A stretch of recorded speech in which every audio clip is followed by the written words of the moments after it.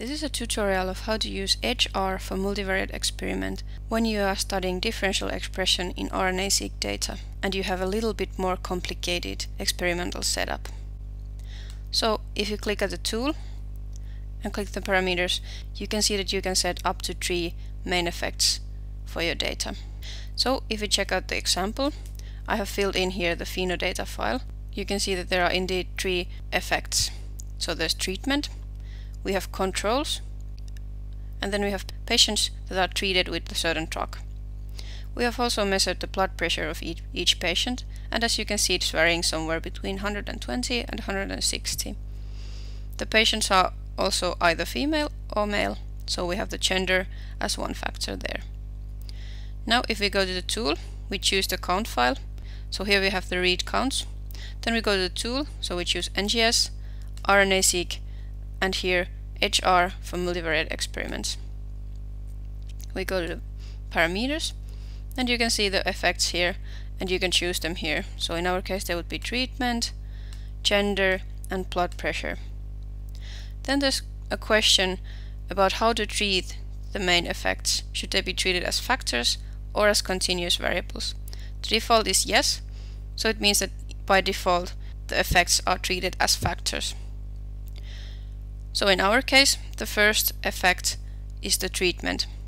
And that's a factor because the patients are either controls or then they are treated with the drug. So that that's a yes. Same goes with the gender, so the main effect too. That's also a factor because the patients are either female or male. But the third effect is a bit different since it's the blood pressure and you remember that it was varying between 120 and 160. So that is actually not a factor, but a continuous variable. So there we would choose no. Then there's a question about including interactions to your model. The default is no. If you click to the parameter, you can see the explanations here. So no means that you include only the main effects to your model. That means that we would be only including these main effect terms and there would be no interactions between the terms. If you choose yes, it means that you're including all the interaction terms to your model. To explain that, let's make the situation a bit more simple. So let's forget now the blood pressure and assume that we only have treatment and gender as effects. And they both have an effect on our expression values. But let's assume that we're also suspecting that the treatment has a stronger effect on females than male. So then there would be actually an interaction term between the two main effects and then choosing here yes means that we're including all those three terms to our model. There's also a third option which is called nested. It's a bit more complicated situation and we have a different tutorial for that one. You can also click the more help button to go to the manual page and there's also a detailed example about, about the situation where you could use this option. So if you now run the tool with these parameters, as a result you will get a PDF file showing the dispersion plot and a TSV file which you can open as a spreadsheet or you can export it to your own computer and view it on Excel. Let's now open it here. It might look a bit complicated when you look at it for the first time, but as usual, the rows correspond to genes, and then there are these five columns repeated for the different comparisons. So the most important and interesting ones are probably the logarithmic fold changes, the p-value and the FDR corrected or adjusted p-value. Now if we want to see whether the treatment has an effect on the expression values and how many differentially expressed genes you got in that comparison, we need to scroll a bit to the right and now we are looking at the five columns for the treatment comparison.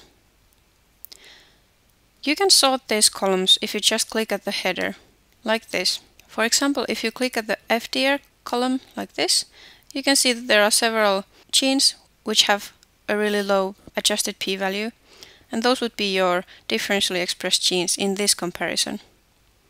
If you go further still, the next comparison is between the genders. And same columns are still repeated.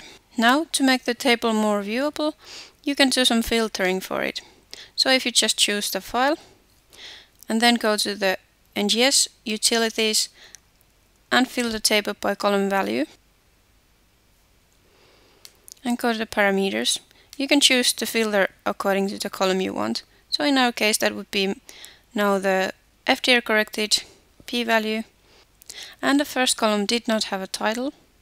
The cutoff could be 0.05 and the p-value needs to be smaller than that for the genes to be differentially expressed. Then we could just run the tool. As a result, we get a similar table,